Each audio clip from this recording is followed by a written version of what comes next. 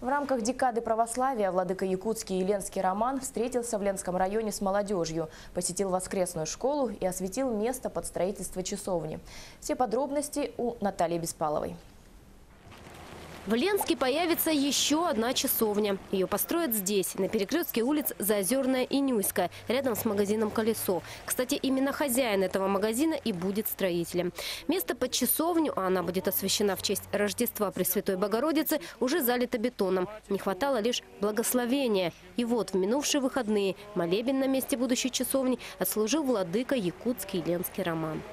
Это традиция установления на важных местах на перекрестках, на особо значимых местах города, населенного пункта, часовен, памятных крестов. И через устроение таких часовен мы место сие посвящаем Богу. И через посвящение это приобретаем еще одну покровительницу для города, Пресвятую Матерь Божию.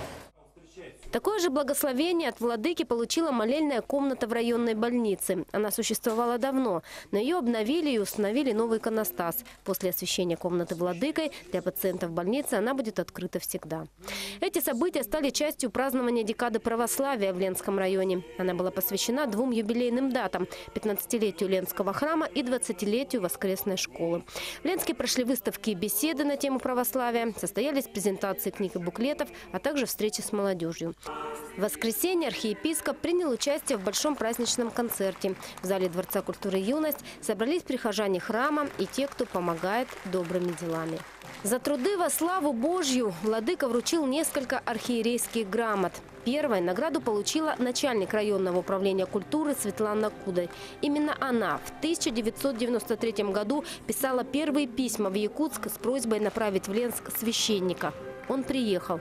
В 96 году открыли воскресную школу для детей, в 2001 построили храм. И теперь жизнь без него православные люди не мыслят.